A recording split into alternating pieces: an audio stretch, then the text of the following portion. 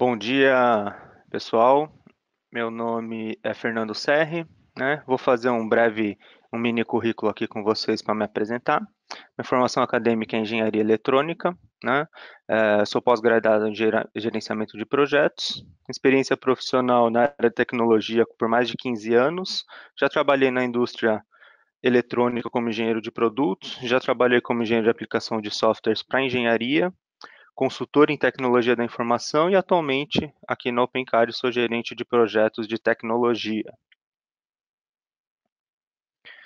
É, vamos fazer uma pequena introdução, esclarecer aqui alguns conceitos antes de a gente ver na prática uh, a questão da rastreabilidade no Cradle. Né? Primeiro, eu quero explicar o que, que significa rastreabilidade no ciclo de vida do produto. Tá?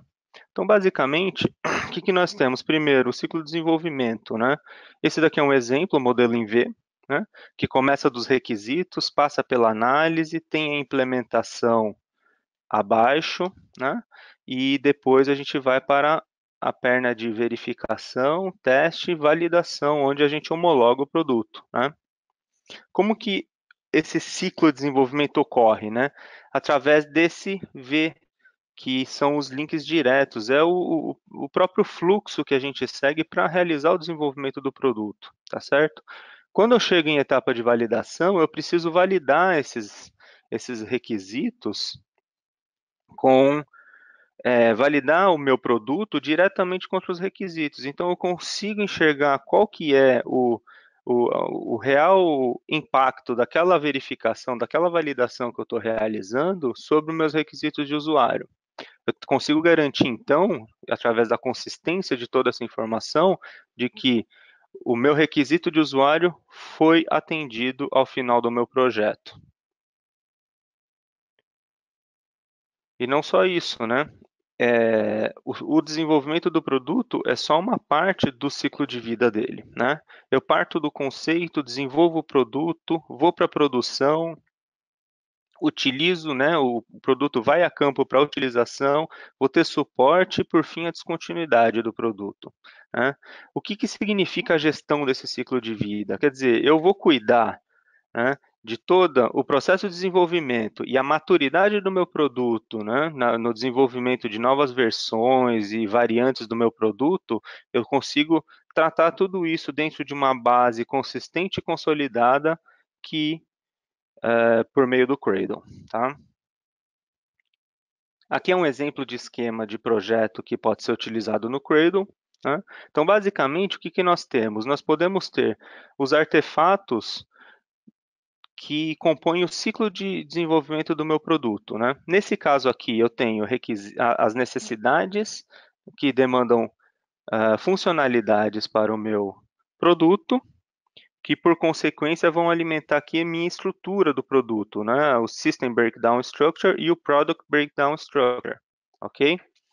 Da mesma maneira, uh, para determinar esse, essa estrutura do produto, das necessidades do usuário, eu vou derivar para os requisitos de sistema, onde eu mudo da holística do problema para a solução. Qual que é o sistema que eu vou desenvolver para atender os meus requisitos, as minhas necessidades, né? E, logicamente, no final desse ciclo tem as verificações que estão relacionadas, né? Tanto aos requisitos de sistema, como a minha estrutura de produto, que são os componentes e o próprio sistema que eu estou desenvolvendo. Relacionado, né, a qualquer um desses artefatos aqui dentro dessa caixa, nós temos riscos, então, eu posso identificar riscos relacionados à necessidade, a uma funcionalidade, à própria estrutura do produto, né, aos requisitos ou até alguma verificação. Bem como eu consigo relacionar o meu esforço de trabalho. Ou seja, eu consigo assinar é, um esforço de trabalho é, a qualquer etapa desse processo de desenvolvimento, a fim de mensurar e relacionar o esforço de trabalho e o custo, né, hora homem, que eu vou ter exatamente para o desenvolvimento de cada um dos artefatos do meu projeto. como que eu vejo, como que eu tenho essa rastreabilidade, como que eu enxergo isso, né? Como que essa, essa relação de artefatos no, na ferramenta funciona, né? Basicamente, eu consigo ter uma estrutura hierarquizada dos meus, dos meus artefatos, né? Aqui a gente, nesse exemplo em árvore aqui, a gente consegue observar bem que, primeiro eu tenho os requisitos, certo? Depois eu tenho uma fase de modelamento, nós não vamos contemplar nesse webinar, né? mas o modelamento é toda a parte diagramática que a gente pode usar XML, o ML para modelar os requisitos e o sistema. Tá? Depois disso, temos lá os requisitos de sistema, né? que são os requisitos que já estão olhando para a solução que está sendo desenvolvida. Depois, a estrutura do produto, através da System Breakdown Structure e da Physical Product Structure ou a Product Breakdown Structure, né, que é a, a tradução do PBS, e, por fim, a verificação, que está relacionada ao produto, nessa estrutura aqui, mas também né, quem demandou o, o, o critério de aceitação dessa verificação foi o requisito de sistema que está logo acima aqui na hierarquia. Tá? Então, dá para observar aqui que é possível ter uma consistência do banco e das informações do seu projeto e o fluxo de desenvolvimento do projeto muito clara dentro da ferramenta. Você parte de um requisito e consegue saber quais são os artefatos que estão sendo impactados por esse requisito. Da mesma maneira, a gente consegue ter essa análise através de diagramas hierárquicos e através de tabelas aninhadas. Uma forma, uma análise bem conhecida que a gente costuma fazer é, quando está falando de requisitos é a análise de cobertura, né? Essa matriz aqui é um exemplo, a gente vai abrir na prática também a, a, uma matriz de cobertura, então eu consigo aqui nesse caso enxergar qual que é a cobertura dos meus requisitos de usuário, que são as colunas, né? Versus os meus requisitos de sistema. Ou seja, os meus requisitos de sistema, o meu produto que eu estou desenvolvendo, a especificação dele está atendendo os requisitos de usuário, estão resolvendo, esse produto que eu estou desenvolvendo está resolvendo o meu problema? Tá? Essa é a pergunta que essa matriz responde. Tá?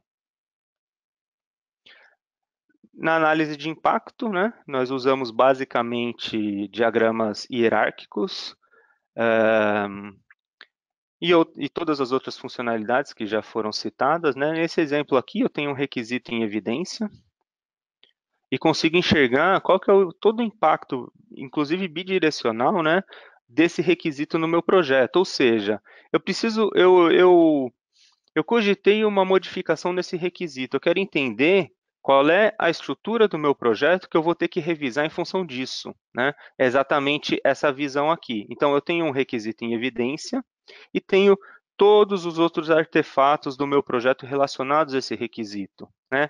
Sejam eles resultados de teste, componentes verde, funcionalidade, uh, testes, equipamentos que estão aqui relacionados indiretamente, né? E outros requisitos, inclusive, que estão relacionados indiretamente, mas podem pode causar impacto, podem ser impactados pela alteração desse requisito que está em evidência. Tá? Então, uh, essa é uma forma bastante visual e bem interessante de fazer análise de impacto do projeto, tá? Quando você olha a, o possível artefato que será modificado e consegue entender o impacto dele sobre o projeto. Qual que é a vantagem disso, né, de você fazer uma análise de impacto bastante apurada? Você vai atuar somente e tão somente nos artefatos que são impactados. Os outros, com certeza, você não vai precisar se preocupar. Né? Uh, outro significado de rastreabilidade é rastreabilidade sobre as alterações. Né? O que é rastreabilidade sobre alterações? Basicamente, eu preciso entender, dentro do meu processo de desenvolvimento, é, o que eu estou mudando quando eu estou mudando e por que eu estou mudando. Né? Esse exemplo aqui a gente também vai ver na prática logo, logo mais, é o seguinte, né? eu consigo enxergar dentro do texto de um, de um requisito, né, quando ele foi alterado, por quem e o, o, o motivo dessa alteração. No, nessa primeira alteração aqui, eu consigo enxergar que foi alterado, foi removido o texto e alterado aqui de black para dark. E depois, na última alteração, foi alterado o range limite aí do, de operação do, do equipamento, né? Então foi adicionado aqui em verde no, no requisito o range de operação em termos de tensão, tá certo? Outra forma de gerenciar a configuração, gerenciar as alterações do meu projeto é o gerenciamento de configuração. Né? Isso daí é um gerenciamento macro, tá? Então, eu sempre tenho um grupo de itens que vão compor uma linha de base no projeto. Qual é a característica da linha de base? Eu consigo atuar no meu projeto dentre todas as linhas de base que eu tiver. O que significa isso? Eu posso cuidar de várias versões do meu projeto, tá? Ou eu posso criar uma nova versão, depois, se eu precisar, eu posso reverter a versão para uma versão anterior. Ou mais, eu posso ter variantes do meu projeto, onde eu tenho, por exemplo, né, um, um notebook com configuração, uma, uma especificação é Core i3, a outra é Core i5, a outra é Core i7. Eu consigo cuidar dessas variantes do meu produto, né, que é o mesmo notebook mudando as especificações, eu consigo cuidar dessas variantes dentro do mesmo projeto do Cradle. Tá? Tudo isso através de um processo de revisão, um fluxo de revisão formal, onde a gente parte de um rascunho, né? revisores atuam sobre esse rascunho, né? aprovam a revisão, né? e depois nós através de uma autoridade de linha de base, que pode ser o gerente do departamento ou o gerente do projeto, enfim, você vira a versão daquele grupo de requisitos, né? Aqui eu não estou falando de itens individuais, eu estou falando de um, de um, de um set de, de artefatos que vão compor uma linha de base do meu projeto, ou seja, eu ingesso o meu projeto naquele momento que eu fecho a linha de base, tendo uma versão formal do meu produto recapitular aqui, né, do último webinar que a gente teve, só o conceito de engenharia de requisitos, para contextualizar um pouquinho mais. Né? Então, engenharia de requisitos é um processo que engloba todas as atividades que contribuem para a produção de um documento de requisitos e sua manutenção ao longo do tempo. Ou seja, eu tenho que produzir um documento consistente e tenho que mantê-lo ao longo do tempo. A rastreabilidade nos ajuda muito nessa manutenção falar um pouquinho do, do ciclo aqui de desenvolvimento. Então, primeiro nós temos o, a fonte do nosso projeto é sempre os stakeholders, que têm expectativas, preferências e prioridades. Eles, quer, eles estão sempre olhando para um problema que tem que ser resolvido, geralmente são fatos e fenômenos.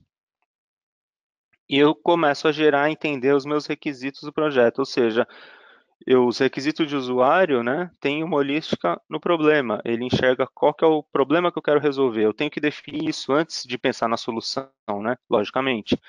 É, os requisitos definem para o meu produto atributos, funções e restrições. Quando eu falo produto, eu posso estar falando de um produto físico, de um notebook, um veículo, ou posso estar falando de um software a ser desenvolvido, né?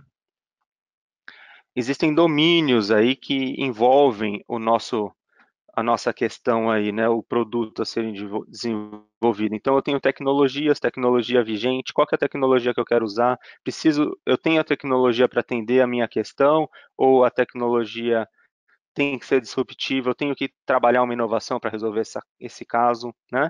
Tenho cultura organizacional, onde eu tenho que respeitar ali todos os processos né, de desenvolvimento que já são inerentes à minha empresa, à minha corporação, e tem o domínio das mudanças, né, que esse é o mais interessante, né, a gente precisa conseguir gerir as mudanças com qualidade para não ter tropeços aí, né, e conseguir ter um desenvolvimento pleno, tá? Tudo isso compõe o contexto do sistema, não só isso, né? Isso e outros aspectos compõem o contexto do sistema. A gente tem que observar tudo isso para elaborar uma documentação de requisitos, né?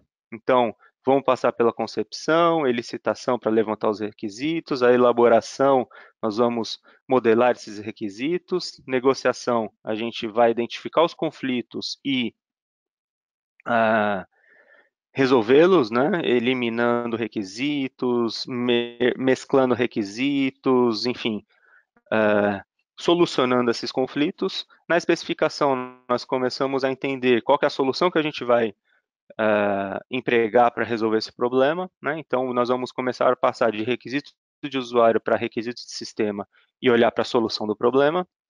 Validação é o nosso entendimento aí de que temos uma cobertura plena dos requisitos e podemos partir para o desenvolvimento do projeto. Né?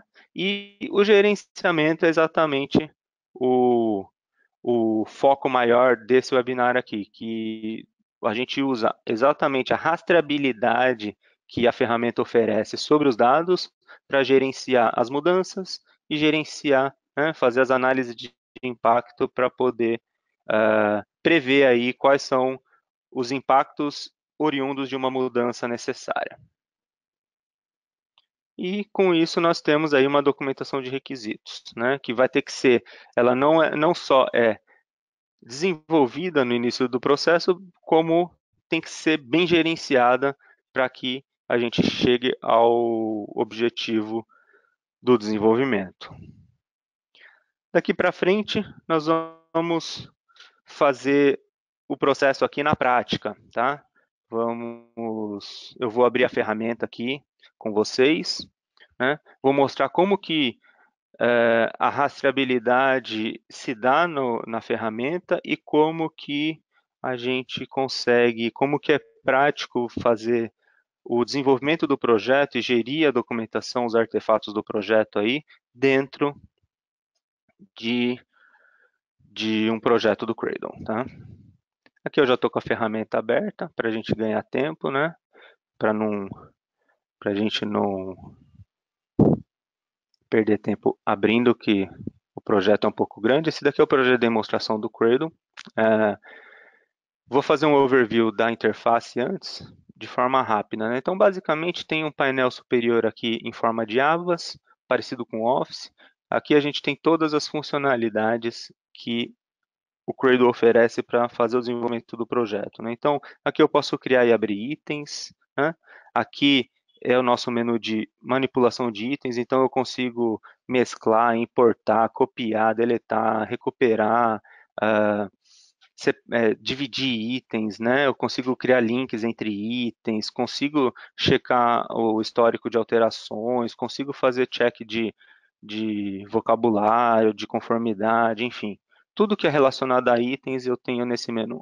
Consigo, aqui eu tenho o menu de revisão formal, então aqui basicamente onde a gente trata linhas de base, o gerenciamento de configuração, né, e, flu, e os fluxos de, de aprovação. As ferramentas de publicação, então consigo publicar tabelas, itens, né, publicar relatórios, publicar documentos e fazer publicações web. Aqui o Plan é onde a aba Plan é onde a gente consegue fazer a conexão com o Microsoft Project, né? Então eu consigo fazer a, a, a, integração com o cronograma do meu projeto. Desse cronograma, o Cordel vai extrair a WBS do projeto e eu consigo relacionar o meu esforço de trabalho com o desenvolvimento técnico do meu projeto, né? Algumas ferramentas, dashboard, métricas, gráficos, document loader and publishing e algumas ferramentas de consistência aí do banco, tá? Aqui é o menu projetos, né? Então no projeto eu consigo fazer o setup do projeto, setup de usuários, importar, exportar, fazer a limpeza do meu banco de dados aqui, né? Muitas vezes é, no, no, decorrer do projeto eu vou excluindo itens e eu preciso fazer algumas manutenções nesse, na, na consistência desse projeto, né? E assim por diante. Na aba janelas eu consigo fazer, abrir algumas, algumas janelas aqui, né? E fazer a divisão de janelas. E em Help nós temos primeiro um conteúdo é, online e depois todos os manuais em PDF da, da ferramenta, tá? Legal. Primeiro ponto que a gente vai dar uma olhadinha aqui na prática é o seguinte, né? Como que funciona esse, essa, essas, como são as regras, né, que, que garantem a consistência do, do projeto dentro de um desse contexto, né? Então, basicamente, o que, que eu quero dizer com isso? Voltando aqui para o slide um pouquinho,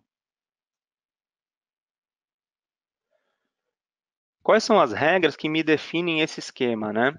Então, o que que, como que eu defino que o requisito eles pode ser somente relacionado a feature e a requisito de sistema e pode ter uma hierarquia, né? Como que eu defino isso? Eu preciso ter tudo isso definido porque o Cradle só vai permitir com que eu faça esse tipo de conexão no banco. Ele não vai permitir que eu faça é, por exemplo, que eu, que eu faça uma ligação, uma referência aqui de requisitos com SBS dentro desse esquema, tá? Ele não vai permitir porque dentro do meu processo de desenvolvimento não faz sentido. Eu tenho que necessariamente passar pelo requisito de sistema para aí sim desenvolver né, o meu, a minha hierarquia de sistema aqui, tá bom? Voltando para o Cradle. Então aqui Dentro desse menu aqui, nós conseguimos parametrizar todo o esquema do projeto. Tem muitas opções de parametrização, de personalização do seu, do seu banco, tá? Aqui a gente vai entrar na definição de, de cross-reference parameters, né? que é a definição dos parâmetros de, de referência cruzada, e vamos olhar as regras de link. Tá? Então, nesse projeto aqui, nós temos inúmeras regras de link, tá?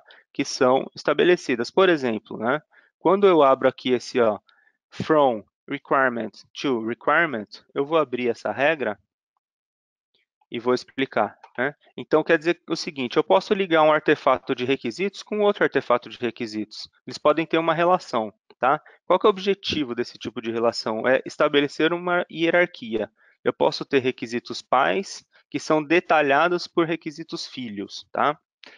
Como que eu determino essa, essa hierarquia? Basicamente é o seguinte, quando eu oriento aqui o meu, a minha relação de um para muitos, quer dizer o seguinte, cada requisito pode ter só um pai, e cada pai pode ter vários filhos. Então, eu, eu forço o, a minha estrutura de requisitos a ter uma uma, uma condição hierárquica, né? como fosse um organograma. Tá? Legal.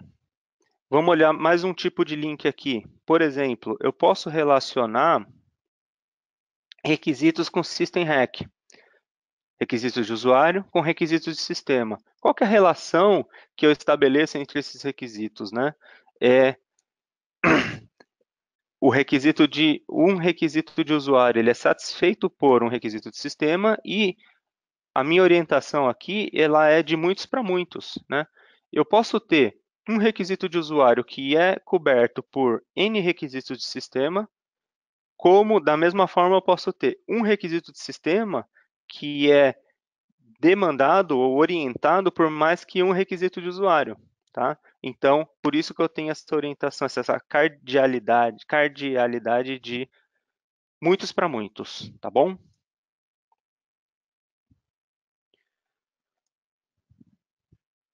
Que eu vou fechar o esquema do projeto, que senão a gente consegue ficar algumas horas aqui falando sobre isso, tá?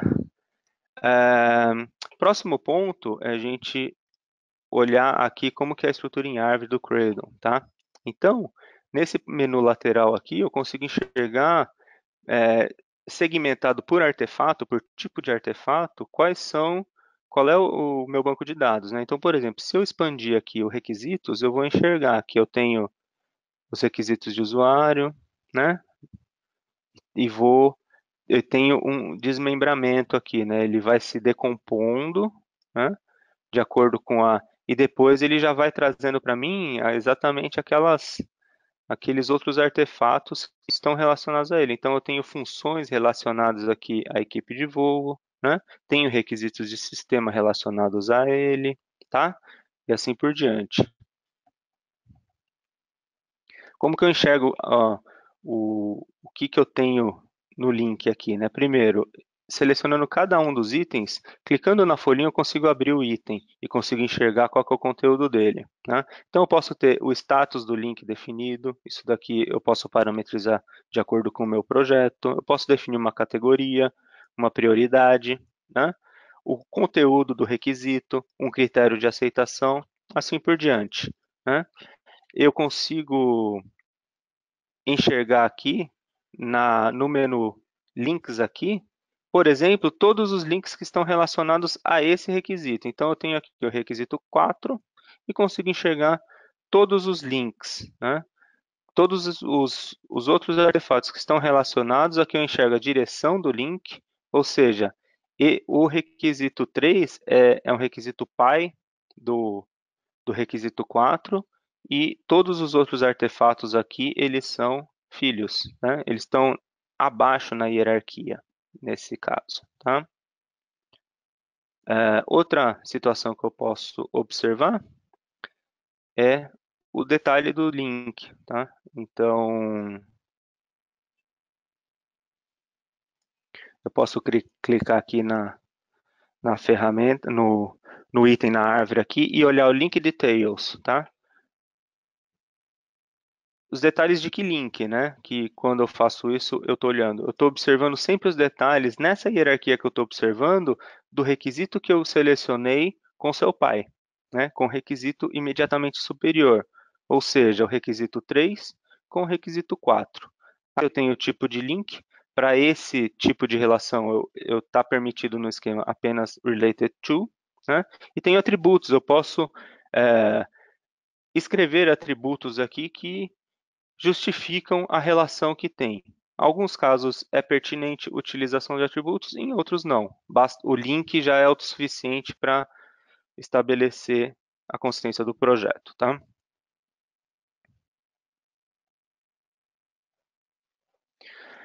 Vamos olhar como que funciona a questão do histórico de alterações. Né? Então, olhando para esse requisito 4 aqui, se eu clicar com direito, eu tenho a opção de View Item History.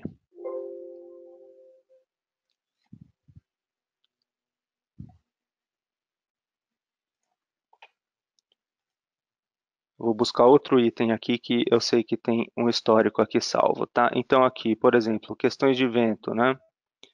Vamos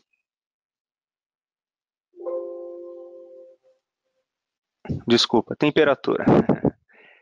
É, Vamos olhar o histórico, né? Então aqui, ó, tem um histórico. Coincidentemente foi feito hoje pela manhã essa, essa modificação. Foi o gerente desse projeto, né? No dia de hoje, de manhã, qual que foi, qual que é o, o motivo dessa modificação? É, foi adicionado um critério de aceitação, né? E aqui embaixo a gente enxerga qual foi a modificação. Então, no frame acceptance, que é exatamente esse frame. Nossa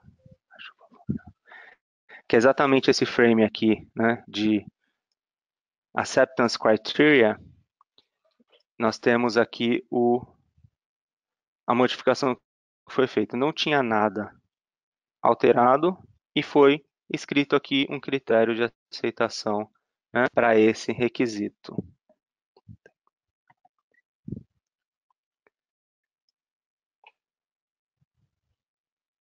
A gente observar aqui o requisito, né, clicando, então esse, esse requisito ele trata de temperatura, tem inclusive um gráfico aqui de referência, né, e o, o critério de aceitação definido foi, olha, tem que fazer um teste, né, de medição de temperatura e esse teste deve respeitar exatamente o limite, deve estar entre o limite máximo e mínimo de operação estabelecido pelo requisito, tá?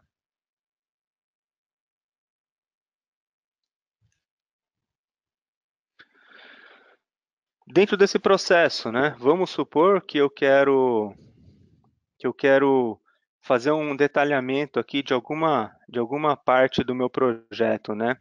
Então vamos simular, por exemplo, que, olha, é, a equipe de voo, né? Eu preciso eu preciso detalhar ela, é, eu preciso decompor ela, né? Por exemplo, eu preciso, é, eu tenho requisitos específicos para os pilotos, né? Eu tenho requisitos específicos para os tripulantes de cabine. Enfim, eu preciso é, aumentar o nível de detalhamento dessa hierarquia aqui. Como que eu posso fazer isso? Primeiro, é, eu posso criar uma nova hierarquia, né? Eu posso criar um item filho, posso criar um item irmão, posso criar uma nova hierarquia e posso fazer uh, novos itens relacionados. Tá? Eu vou criar uma hierarquia porque eu quero montar um exemplo aqui onde eu vou decompor esse, esse, esse requisito. Tá? Então, numa nova hierarquia, o tipo de link aqui é related to, né? E aqui eu defino quantos níveis eu quero de hierarquia. Tá? Então, nesse caso, eu vou criar 2 por 2.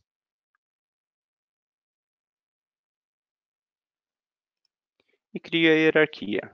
Ele vai pensar um pouquinho né? e vai criar exatamente assim. Ó. O, o item que eu usei como referência, 1.1.1, ele vai criar 1.1.1.1, 1.1.1.2 e dentro de cada um desses ele vai criar mais dois requisitos. Né? Como que eu faço para fazer as alterações aqui e deixar consistente esse processo. Por exemplo, né, eu posso alterar aqui o nome desse requisito aqui, eu posso alterar para pilotos. Né, e salvar. Ele vai pedir aqui o comentário, né? Então aqui eu posso, nesse caso aqui não está obrigatório, eu posso inclusive deixar em branco, tá? Fechar as outras abas aqui. Então, legal, pilotos. Quem são os pilotos? Né? Eu tenho requisitos específicos, eu vou precisar, eu tenho, vou ter desenvolvimentos específicos. Então, o primeiro piloto é o comandante. Ok. Salvo o requisito. E o segundo piloto é o primeiro oficial.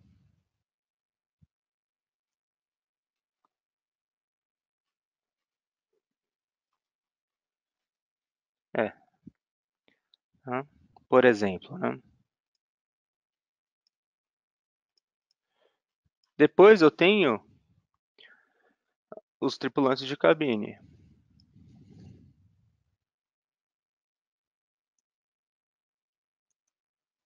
Né? Basicamente, quais são as divisões que eu tenho aí para os tripulantes de cabine? Eu tenho uh, o chefe de cabine.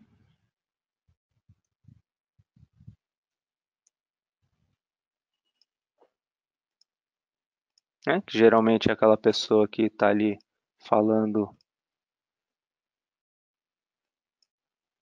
com, no alto-falante com a gente, né? E os comissários de bordo.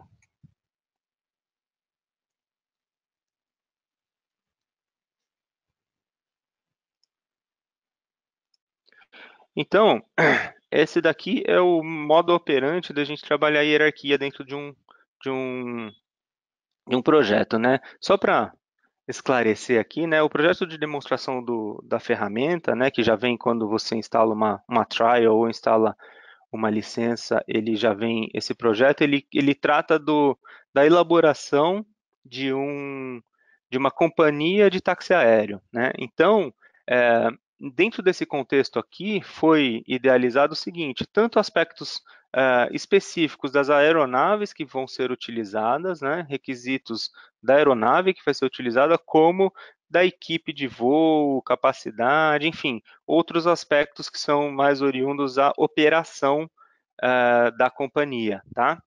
Então, por isso que a gente tem aqui nesse exemplo aqui essa questão da equipe de voo, Tá? Da mesma forma, o que, que a gente pode fazer?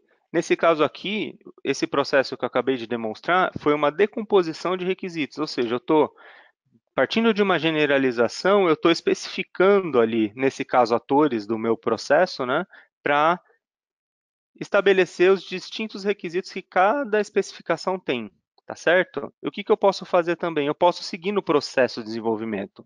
Tá? Eu posso criar um item relacionado que está à frente do meu processo. Por exemplo, né? Vamos olhar aqui o requisito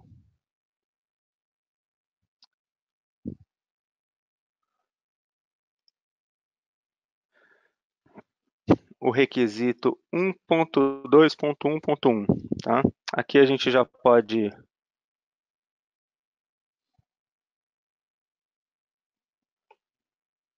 que a gente já pode observar aqui, né? Tem a velocidade de cruzeiro, né? Tá? O que, que a gente pode fazer nesse caso aqui? Selecionando um requisito específico, posso observar o requisito e posso criar um item relacionado, tá? Quando eu crio um item relacionado, eu tenho a opção de trabalhar com os demais tipos de artefato que se conectam a esse requisito, né? Nesse caso aqui, eu posso criar um requisito de sistema, por exemplo, tá? Ou posso relacionar um stakeholder, tá?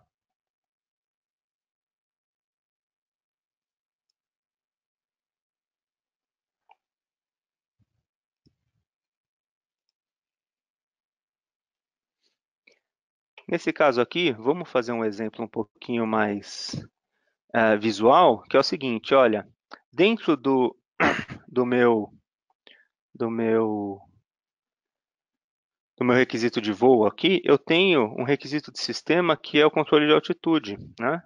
Dentro desse controle de altitude, eu já tenho algumas verificações, que ele fala que, olha, eu tenho que simular o meu perfil de voo, tá? E tenho que ter uma certificação. Por exemplo, né, nesse item aqui, eu posso ter, eu posso precisar de uma de uma verificação que consista no, numa verificação em voo. Então, por exemplo, o nome da verificação vai ser verificação em voo. Tá? Verificação em voo. Então, qual é o tipo de item que eu quero gerar? Uma verificação. Eu mudo aqui.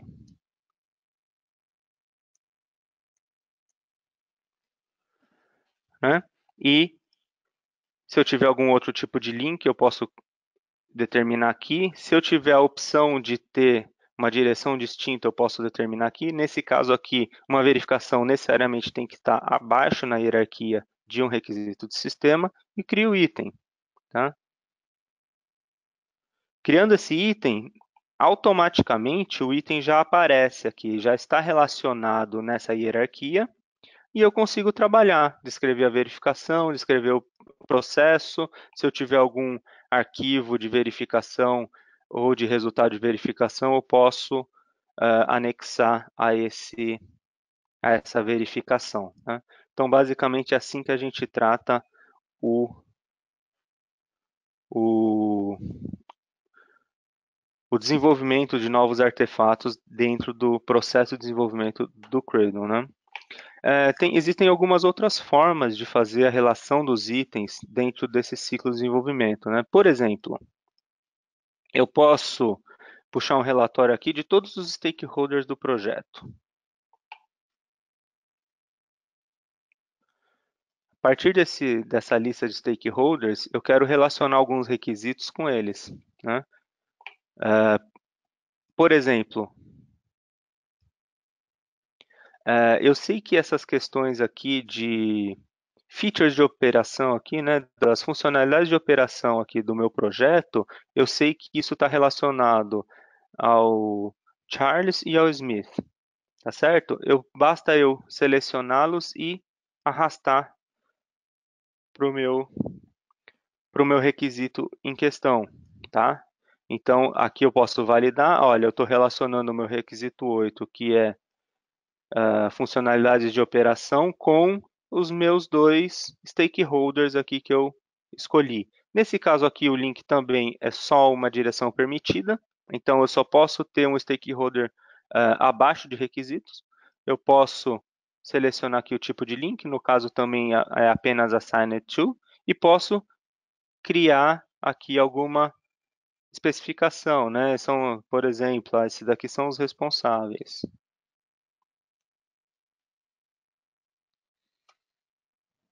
responsável. Né? Criei. Né? Ao, no momento que eu crio esse link, ele já, eles já estão relacionados aqui, ou seja, eles já fazem parte da hierarquia desse requisito aqui. Tá? Outra maneira de fazer essa conexão é usando o menu com o botão direito aqui, Links. Eu posso usar esse recurso aqui de Link From, Link To, tá?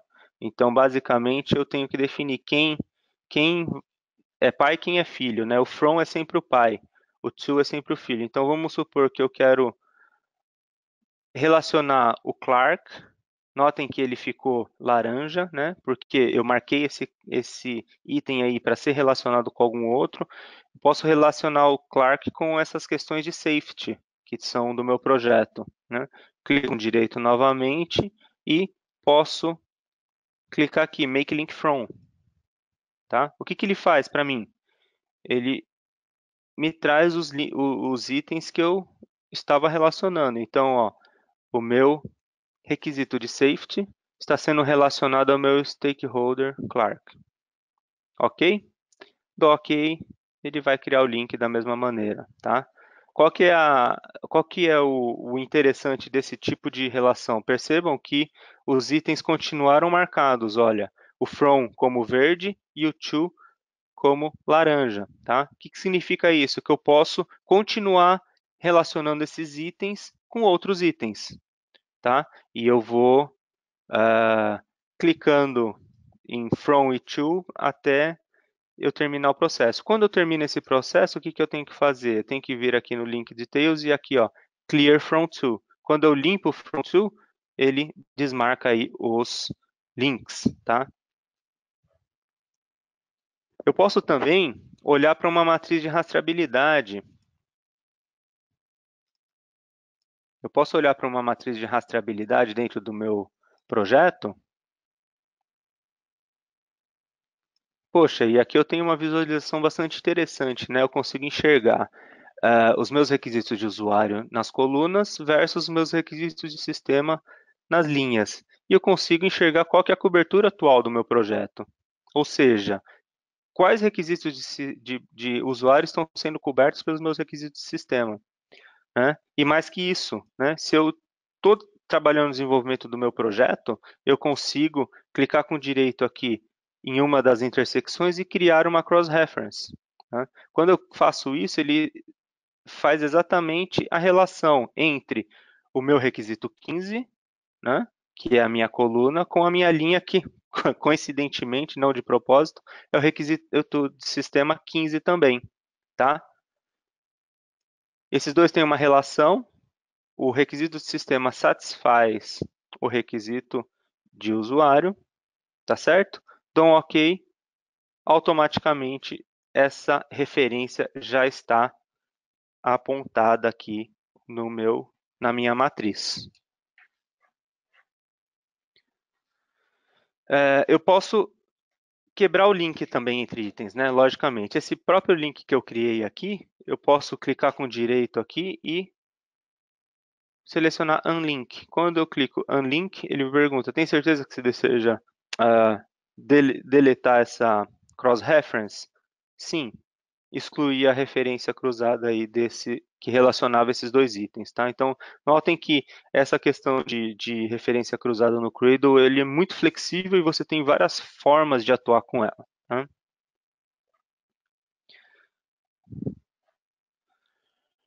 É, eu posso trabalhar também com tabelas aninhadas dentro do projeto do Cradle, tá? Aqui eu já tenho uma tabela pronta que é mais ilustrativo, mas enfim, a gente cria uma query, né? Com uma view específica que nos traz exatamente qual é o alinhamento dos meus artefatos dentro do projeto. Tá? O que significa isso? Nesse caso aqui, para um requisito de usuário, eu tenho N requisitos de sistema. Tá? Eu consigo enxergar e colocar aqui quais atributos forem importantes aqui para mim, e enxergar de 1 para N qual que é a minha relação dentro do projeto. Tá? Então, nesse caso aqui, requisito de usuário, para requisitos de sistema. E tem a lista, né? Tenho o de bagagem, que tem aqui cinco requisitos de sistema e assim por diante, tá? Eu consigo fazer esse mapeamento, né? E quando que é importante isso, né? Para que que serve um relatório desse gênero aqui? É o seguinte, olha, eu sou responsável pelo requisito de usuário bagagem, tá certo?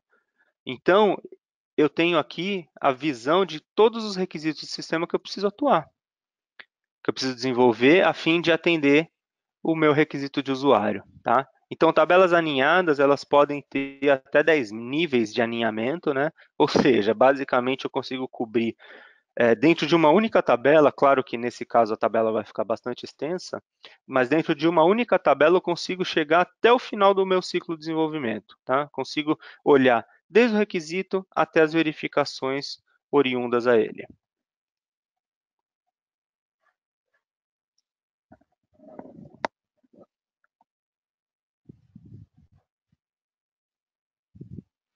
É, outro tipo de matriz que é bastante é, útil né, dentro de um, de um cenário de desenvolvimento de produto é uma matriz de comparação de funcionalidades. Né? Nesse caso aqui, eu tenho uma matriz que relaciona a feature com o meu componente. Né? E eu consigo notar aqui né, que para, uh, nesse caso aqui são propulsores, né? são turbopropulsores do meu, do meu sistema e eu consigo comparar os cenários. Ou seja, ah, para esse, esse equipamento aqui eu consigo 18 passageiros dentro de determinadas condições.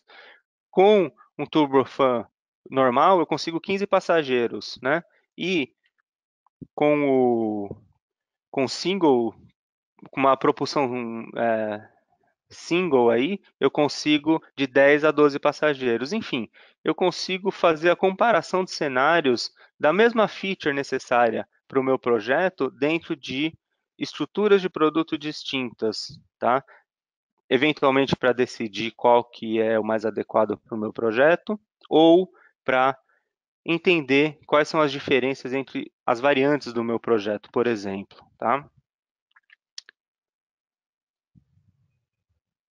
E por fim, para finalizar essa demonstração aqui para vocês, eu vou mostrar como que um diagrama hierárquico se comporta aqui na ferramenta. Tá? Então, basicamente, eu vou fazer o diagrama hierárquico mais uh, simples que eu poderia, né? que é pegar o pai de todos os requisitos. Então, clica com direito, no menu Links, tem aqui ó, Hierarchy Diagram. E automaticamente ele já vai trazer um diagrama padrão aqui para a gente, tá? O que, que, que esse diagrama nos traz, né? Traz basicamente os requisitos que são filhos, né? Toda a hierarquia de requisitos, né?